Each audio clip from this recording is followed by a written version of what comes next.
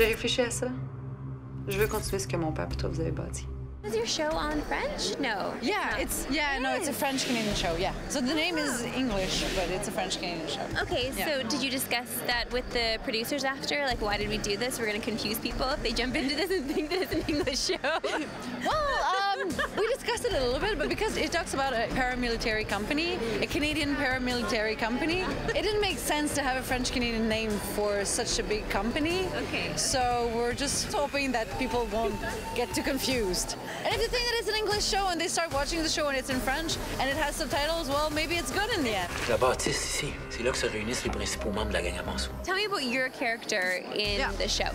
So the show the show is called Blue Moon, and I'm basically known in Quebec. I started acting in Quebec when I was like 13.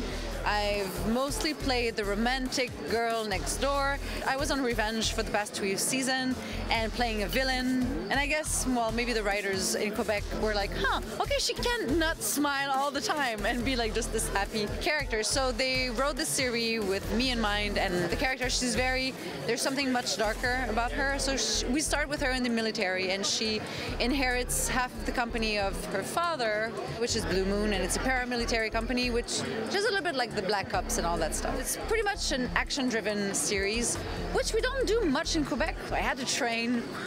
It's really fast to lose it all.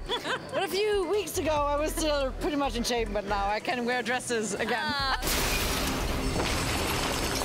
I feel like lately, especially, there have been so many amazing roles for women, or at least it Yeah. seems that there's so many uh, women's roles that have so many layers to them. So, uh. Yeah. who is this person that, like, she doesn't just kick ass? I'm sure she has a softer side as well.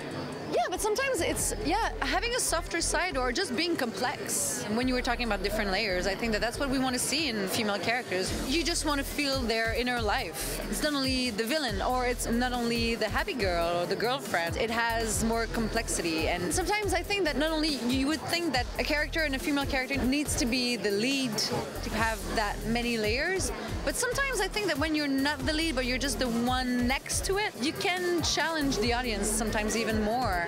And it's great to see that they're doing that with female characters now. EP's TV coverage is brought to you by Xbox, makers of Rare Replay for the Xbox One.